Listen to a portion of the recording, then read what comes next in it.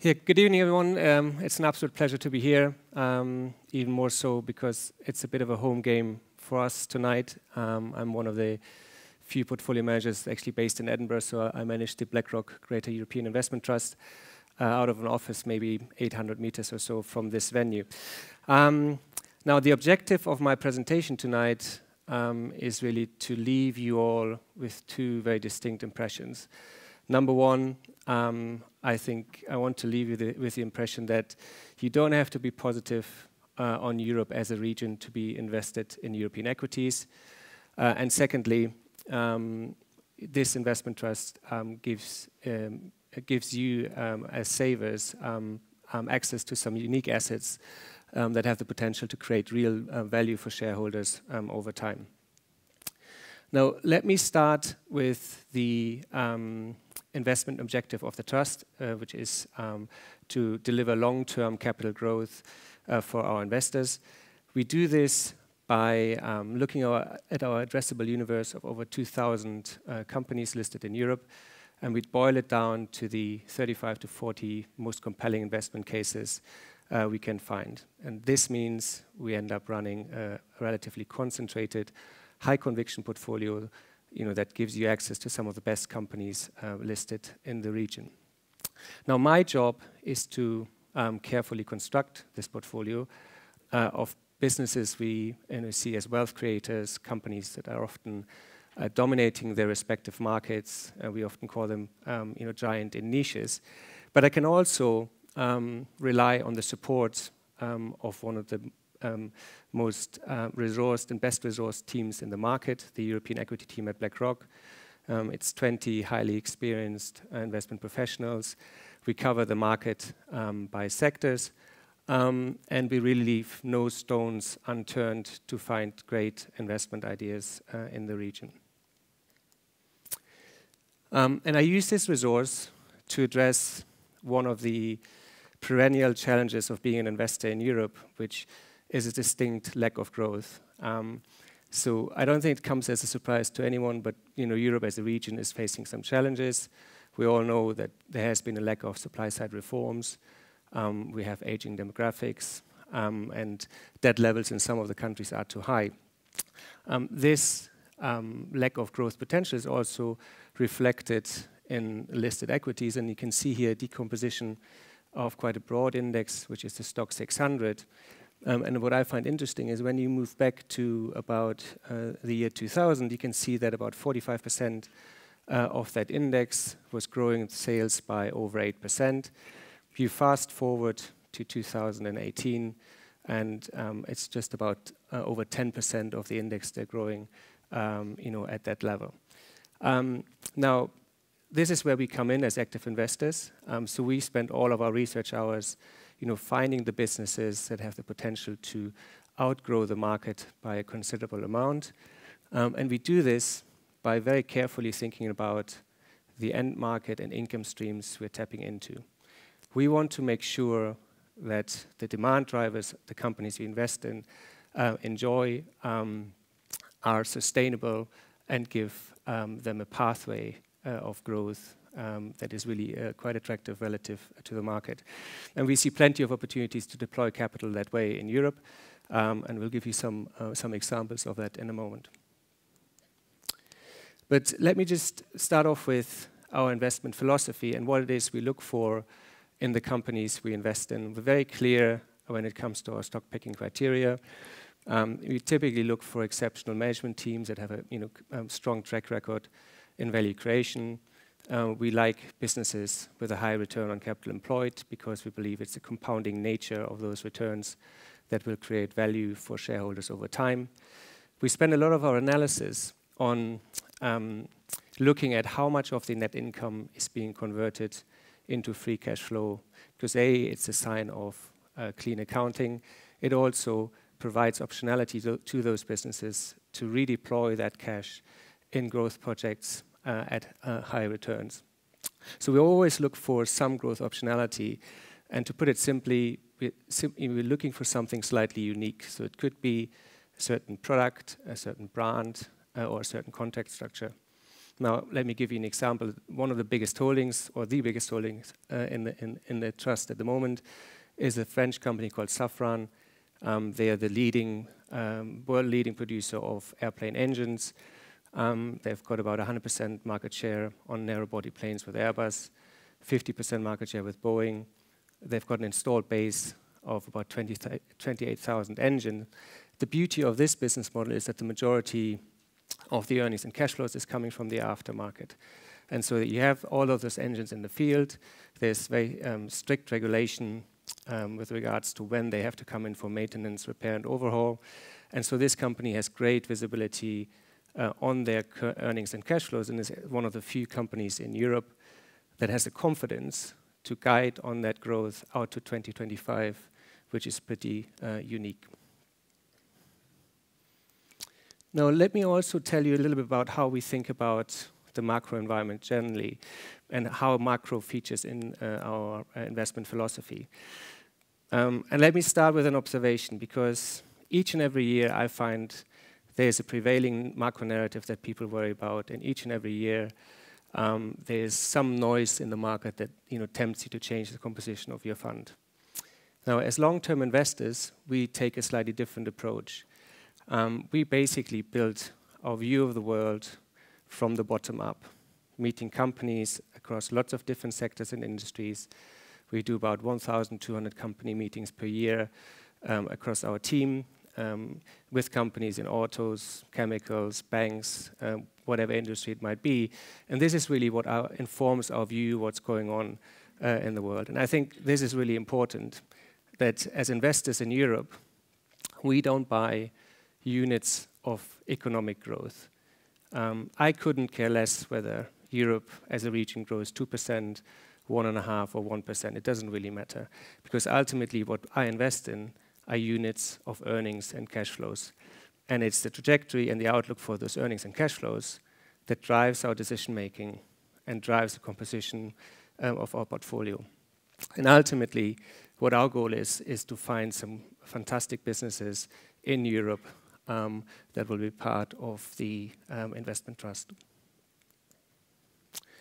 And let me now move and give you some examples of the type of businesses um, we own, one of which is Ferrari, which as a brand many of you will have heard of. Um, what often goes unnoticed is the fact that um, this is really quite a unique uh, company. It's probably the only uh, auto company in Europe or in the world that has got real pricing power. Um, the reason why it does have pricing power is because it has waiting lists of 18 months to you know, three years on pretty much all of their models. Um, it can basically decide at the beginning of the year how many units it's going to sell during the year because there's always going to be some high net worth individuals that are missing out on the models they really want. Um, what Ferrari has understood better than most companies is to create real desirability and scarcity um, for their models. Um, and as a result, it generates um, the highest operating profits uh, in the industry. And most importantly, we see a lot of room for those returns um, to continue to improve um, going forward. Now, we had the CEO of Ferrari in our office in Edinburgh in November, um, just to give you a little bit of an anecdote. And that was right at the time when there was turmoil in markets, people were worried, stock markets were falling. And I remember asking him the question, have you seen any changes in consumer behavior in Europe in terms of your order book? And he just smiled at me and said, no, our order book in Europe is hitting record highs as we speak. And this is exactly what I mean. Ultimately, what you're doing by investing in Ferrari is you're tapping into a high net worth individual um, that doesn't really care whether you know stock market is down 10, 15 percent. Um, you know, ultimately, there's very strong demand for their products, um, and this company actually has grown its earnings by 170 percent over the last three years, which is clearly backward-looking. But we're still talking about a company listed in a European market um, where apparently there is a lack of growth, the message from me to you is, as active stock pickers, we can find these gems that outgrow the market by a considerable margin, with you know, a good outlook for the next three to five years because we believe that Ferrari has the potential to, again, double their earnings over that period as they're launching new models uh, into new markets um, with prices moving higher even further. The second company I wanted to touch on is a company called Straumann. Um, again, an example of what we often refer to as a giant in a niche. It's Swiss-based. Um, they're a dental implant manufacturer. They've got about 25% global market share. Um, it's a company that has been in the fund uh, for the last three years. Um, it's been growing its sales organically by about um, 14%-15%. It actually reported Q1 numbers this morning, growing again organically by 17%. And the reason why we like it is, again, a management team, very clearly defined strategy for how they want to uh, create value for shareholders over time. Um, it's very high returning, converts a lot of its earnings uh, into cash. But importantly, we see clear run rate of growth over the next three to five years that would suggest that growth is going to stay at high double-digit rates. You can see there they're taking lots of market share because their market is only growing by 3%-4%. The reason why we have this confidence is because we see them every quarter. And what we learn in those meetings is we learn about the new products they're going to launch, the new markets they're going to go into. And this management team has been really smart um, by deploying capital and acquisitions, which helped them to basically double their addressable market in the last two to three years. So strong run rate and growth going forward. And what I often say to our clients, you know, this has been in the fund for the last three years. I expect it to be there uh, for the foreseeable future, hopefully for many years to come. Uh, and it's a good example of what you do when you find a winning franchise in Europe. You size it large, and you just continue running it. Um, and this is you know, what our intention is with Straumann because we see lots of room for value creation going forward. And then lastly, um, we wanted to have a bit of fun um, and put um, uh, as an example FinecoBank, which is an Italian uh, company. It's a little bit controversial in the sense that Italy doesn't strike most people as a natural hunting ground for finding strong investment ideas in European financials. Um, we think FinecoBank actually proves that thesis is wrong because it basically benefits from the moribund state of the Italian banking market. Um, it is um, offering consumers three things in one. They've got the strongest trading platform. They've got the strongest digital offering and one of the best Um, advice and investment um, um, center networks. And as a result, they're taking lots of market share. So they've got about 1.2 million customers. And they, that base is growing by 100,000 customers per year. And with that, you can see nice growth in the savings and assets under management. And with that, nice growth in earnings and cash flows. Now, why are they winning? They're winning because they've got the best technology. Um, we often call them um, the bank of the millennials, uh, as well as other rich Italians. And the reason why people go to Fineco Bank is because um, it's got the best digital offering. Uh, and people like to interact with their financial institutions in a smart digital way. And actually, it's always surprising the degree to which some of the legacy banks fall short uh, on that metric. Now, Because it's got one of the leanest cost base as well, this company generates a return on equity of 28%. Um, now that is the key metric you look at when you talk about financials.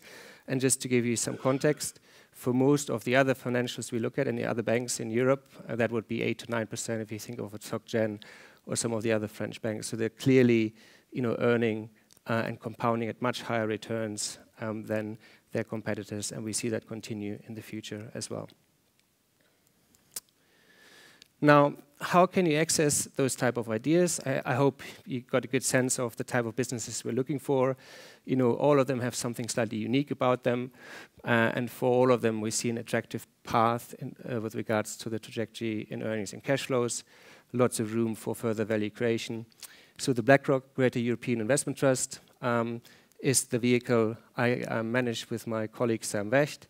Um, I've already um, talked um, about the fact that it's a fairly concentrated portfolio. We can invest in 30 to 70 stocks, but very much centered towards the better, bottom end um, of that range. What makes this trust slightly different as well is that uh, from time to time we can have a smaller allocation to what we call developing Europe, which is basically emerging Europe. Um, that gives you access to some pretty um, fast growing and very attractively valued assets as well. And then with it being an investment trust, uh, we can apply uh, gearing as well um, as we see fit, um, you know, up to 15% um, of the NAV. Coming to performance, you can see here that the, trust has outperformed its benchmark by about 6.5% over one year, just under 6% also over three years, which puts it right at the top um, of its investment trust peer group, uh, and in the top decile of the broader peer group of about 135 ex-UK uh, funds managed out of the UK. But really, the message um, to you when it comes to performance is that we believe we can achieve the best results for our shareholders um, over the long term. And you can see here the five-year number of close to you know 12% uh, outperformance. I think is testament to that statement. There'll always be period when it doesn't work so well. We believe that we can deliver the best results for our you know savers um, over the, the medium um, to long term. And with that, um, I uh, conclude, and hopefully we can address some of your questions in the session later on.